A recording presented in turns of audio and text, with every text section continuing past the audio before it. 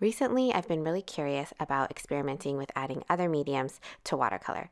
In this video, I'll share with you how I use colored pencil to add definition to an otherwise loose watercolor of this red rowboat. The reference photo is linked for you below the video in case you want to paint along with me. And the video that you're going to see me sharing here is actually an excerpt from a series of paintings I did with the Paint With Me membership community to explore adding colored pencil to our watercolors.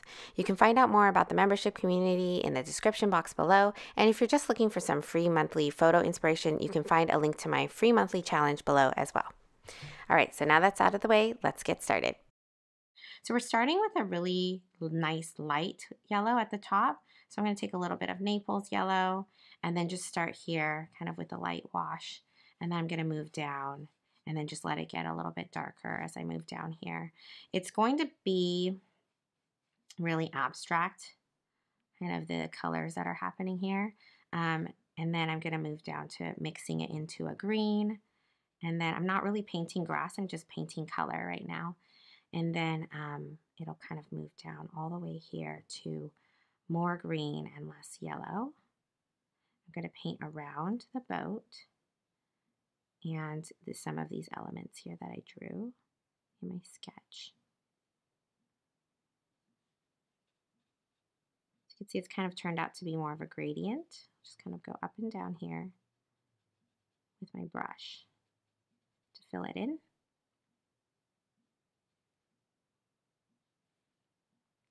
And then, um, you know, down here, it's going to be a little bit, we're going to want to blend that into the water. But while I'm here, I'm just going to start to put in just a little bit of just kind of texturing.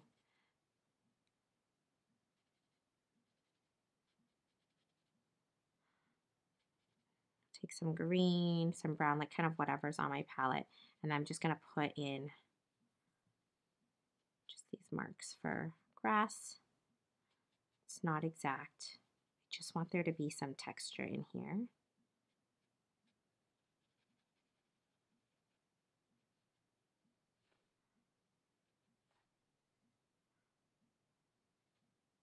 And I think what might be nice here is to actually do some splattering. So I'm going to take some of this color that I have on my palette. I'm going to cover up this um, part of the painting.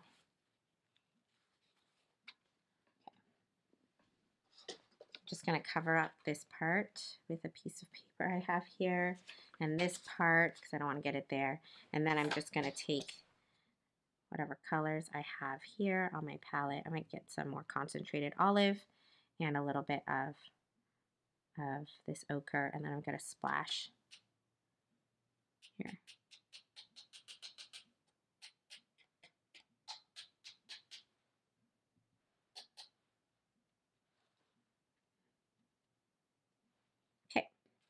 That's good. So I just want a little bit of texture there. And then I'm to move down to the water. So what I'm going to do first here is actually wet all of the water.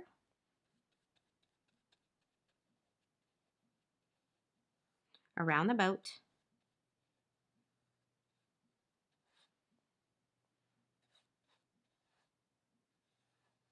all the way down to the bottom.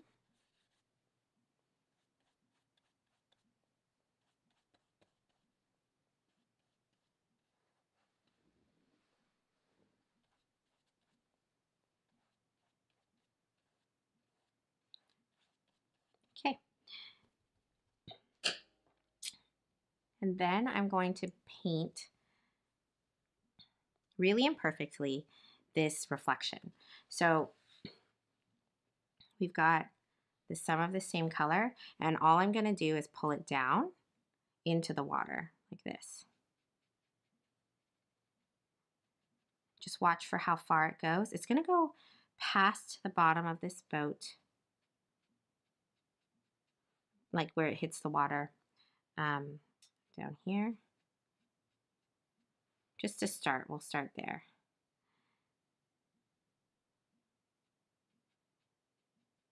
We want it to be fuzzy, really, because it's a reflection.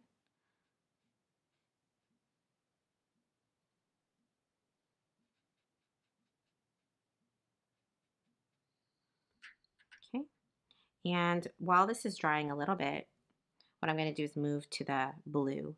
So I'll just take ultramarine and do a really kind of diluted version of it. I have cerulean also in my palette, so I might use a little bit of that. And then I'm just going to come over here and then start to, I think I'll start at the, actually at the bottom. And I'm going to pull some of this color up. It, you can even put a little bit of green into it um, if you want to. I'm going to just go, I know there are clouds. Know there are clouds in here, but I'm going to just brush from the bottom up, tilt my paper perhaps this way, let it run down towards here. There's a very sharp reflection in the water of the boat. But what I'm going to do is interpret it as if it wasn't a sharp reflection. Um, I'm going to interpret it as if it's kind of blurry and you can't really see what's going on. So um, I'm just going to kind of do blue up to maybe here. And then this is going to dry a little bit and then I can probably pick up and lift out a little bit of the of the clouds and perhaps just using a, um, a, a piece of towel because that'll be easiest. So um, while this is sort of drying up a little bit, I'm going to start to kind of maybe pick up a little bit. I want to do it while it's wet, and that's because I want the colors to kind of go back in. I don't want a hard edged, I don't want it to be hard edged, the reflection. I want it to be really soft. So I'm just to just kind of, oh, just a little bit, just like that. It's not, not to be very much. Again, not also not very uh, precise. If you look at the reference photo, it's not precise at all. I'm just roughly doing them. You can use your finger to just smudge it a little bit if anything looks a little bit too perfect or too hard. Okay, so um, now I'm going to actually go back and fix some of what's going on here. So I'm going to have a little bit more of the greens and I'm going to kind of put this back in here. Some of this cauliflower is okay. I kind of don't mind it. These little loose sketches. So I'm going to put this here. We're going to come back with color pencil over this part, which is why, you know, to me it's okay. Even in the in the reflections we could. But for now, I'm just going to leave it like that. And then over here, I'm going to start to work on the red reflection. So it's red, it's like tinted red. So I'm gonna, but you know, if you really squint, it's like a burnt sienna color. Um, so I'm gonna take burnt sienna, mix it in with this ochre, and then mix in some of the red. I'm gonna use pyrrole scarlet because that's gonna be the base. Um, that's gonna be the color of the boat itself. So I'm just gonna mix that in to what I have on my palette. So it's like greenish red, brown. Um, so it's kind of part of the same family. And then I'm going to start over here and then put in the base of this boat. And you're going to see it start to feather out. And like I said, if you look at the reference photo, it's a very crisp mirrored detail of reflection. It's like a mirrored reflection, but I don't really want it to be a mirrored reflection. I want it to be, I do want it to be soft and fuzzy. So I'm just going to paint it that way. Paint it when it's wet. So we'll do this.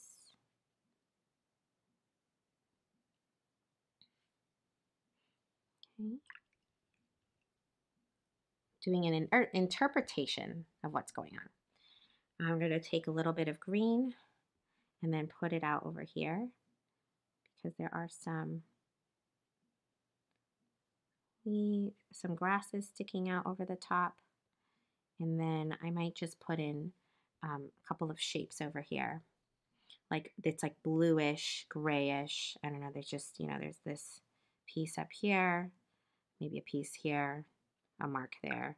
I don't want it to be really obvious. I think I could, if I wanted to, come back and do them in um, kind of just define it in pencil later, but I can clean up some of these kind of flowy edges if they're a little bit too kind of escaping all over the place. I'm going to take my flat brush and then start to put in um, the like disturbance of the water. So if you can look here, there's like a little bit of, of disturbance over here in the water. So I'm just going to take a damp brush and then start to rub it back and forth. It'll do a little bit of lifting.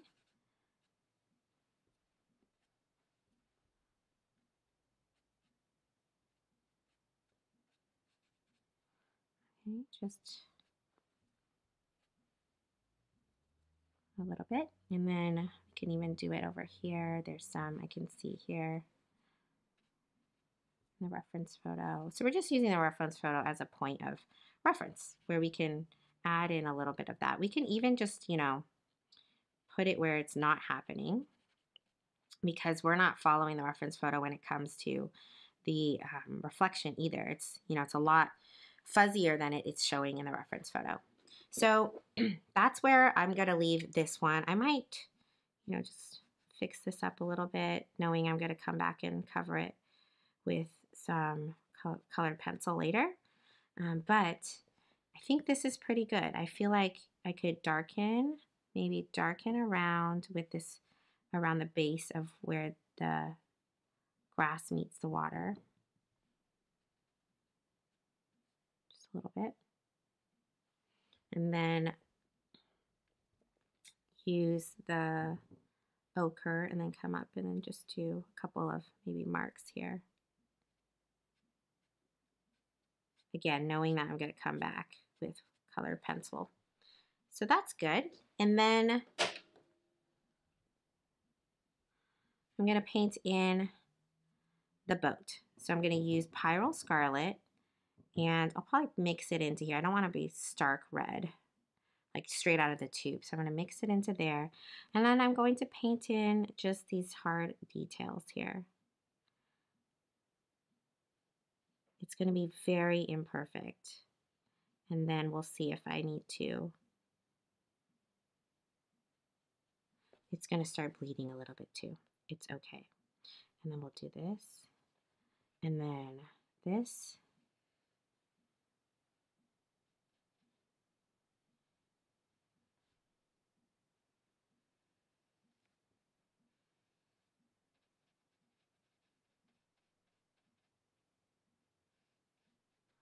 Keep it loose and really imperfect again. And I'm going to just put in a couple of maybe gr a gray wash over this. Do this like a grayish, buff titanium type of color. Um, and then put that on the inside of the boat.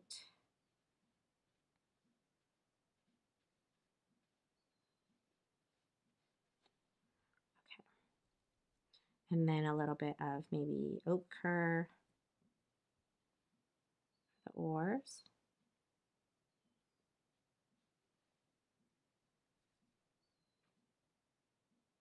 See how loose this is.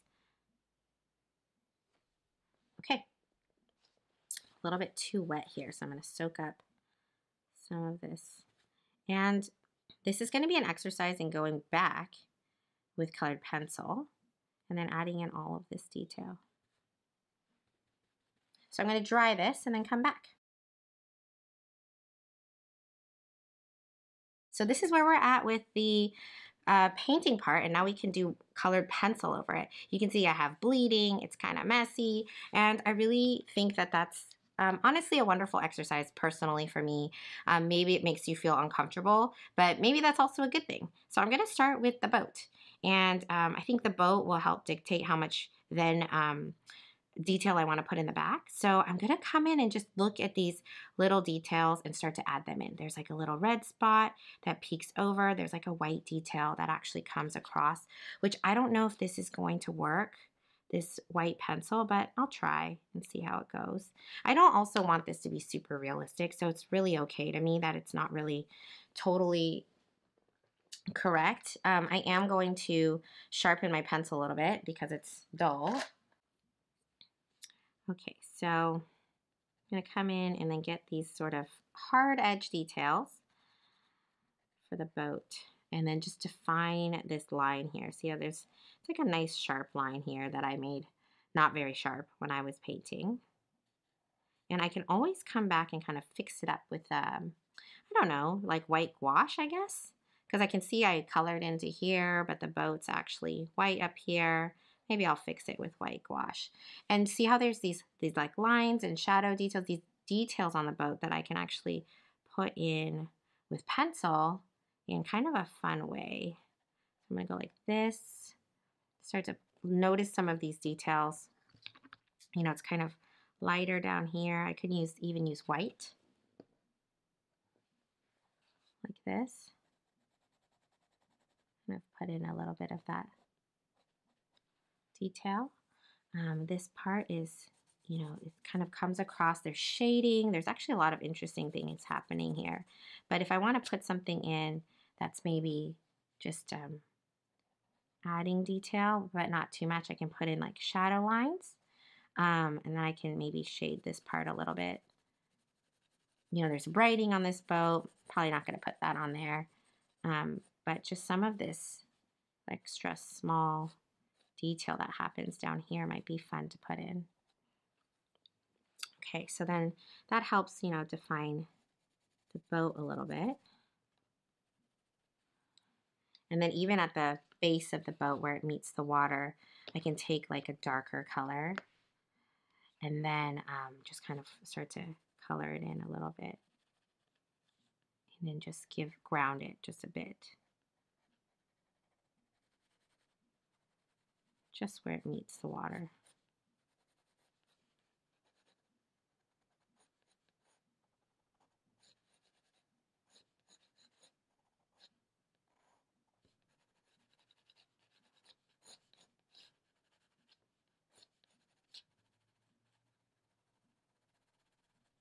see I'm just adding texture like that, but then fading it out as I go.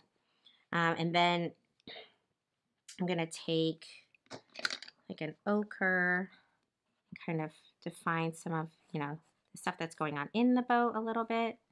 I see an oar back here, right there. And I'm trying, really trying not to be very specific about what I'm sketching.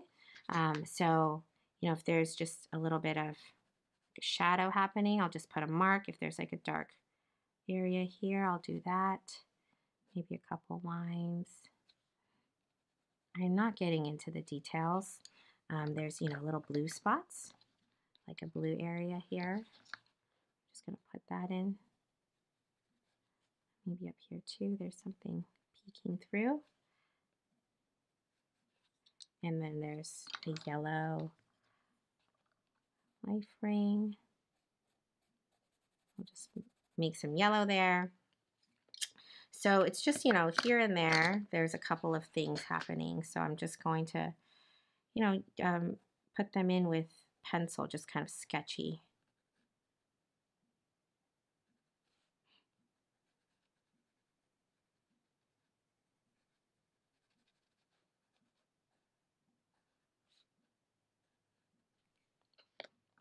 Okay, now I'm going to go back and just define some of what's got going on in the grass.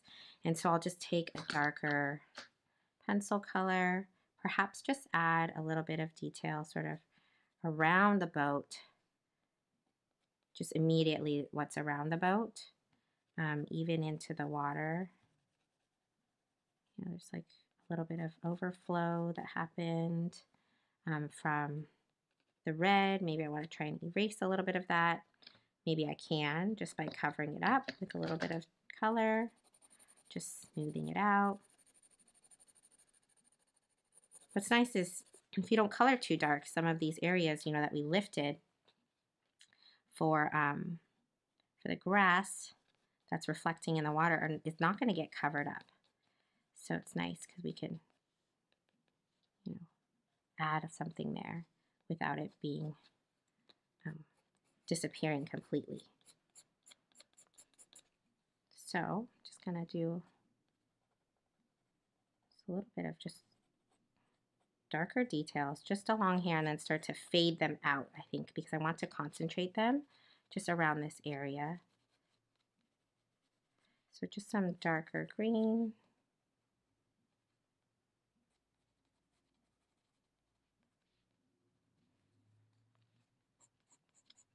Some yellow. Even just some basic shading everywhere.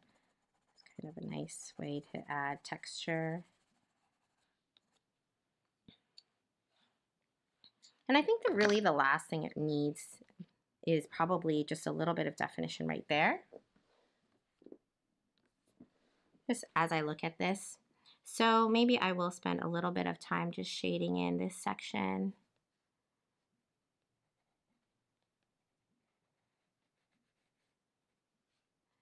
Giving the boat a little bit more attention. And I think maybe that'll help.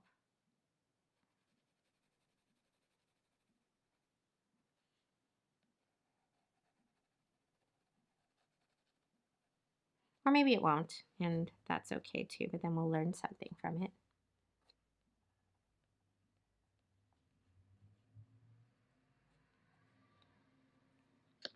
Go back and do a little bit more.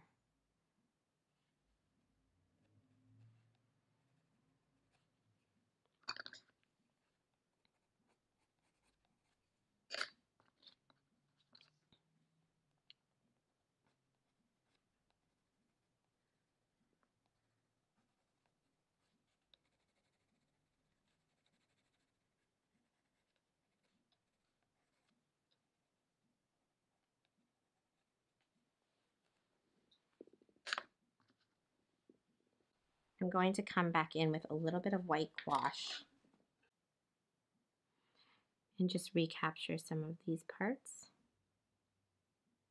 I think this little, you know, something like this detail might help. And I also realized I want to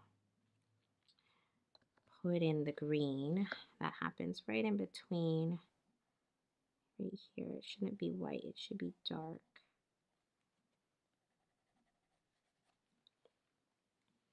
And then I think what might be nice is I said I wasn't going to do lettering on here, but I think it's going to add a little bit of detail to add to um, this boat, which is interesting now that I'm looking at it. So maybe I'm just going to put a few marks here that's going to indicate that there's writing, but I'm not going to actually write all the letters.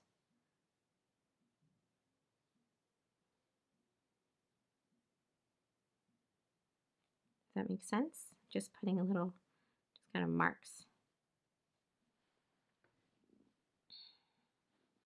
So I think as an overall sketch, this is looking pretty good. Um, I probably could stop now. I think I might, I don't know why I feel like this, but sometimes this is what happens is you do these things and you feel like it's still missing something. And so I feel like it just needs some darkness for some reason around here. So I'm just going to come back in and just add a bit more just shading is what it is. I'm going to take this color and then maybe just darken some of these details just in this area. Um, and maybe even just bring it out to here.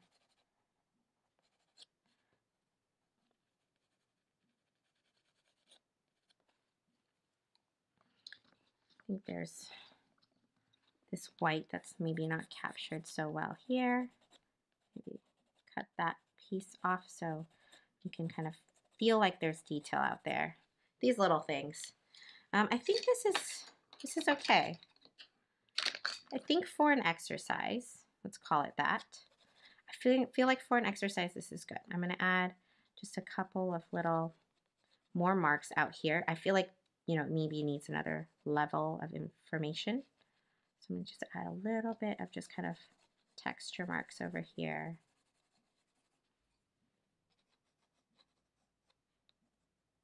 Plus there's that little dark spot that I wanted to cover up.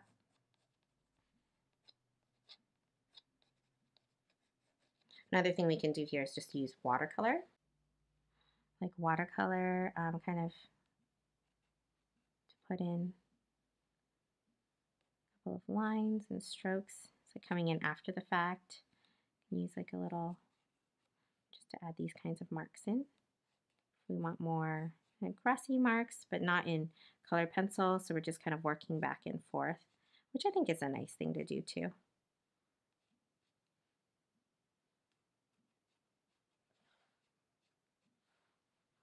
just using um, like a little cat's, oops, like a little, oops, like a little cat's tongue to put in these little, just kind of marks here and there.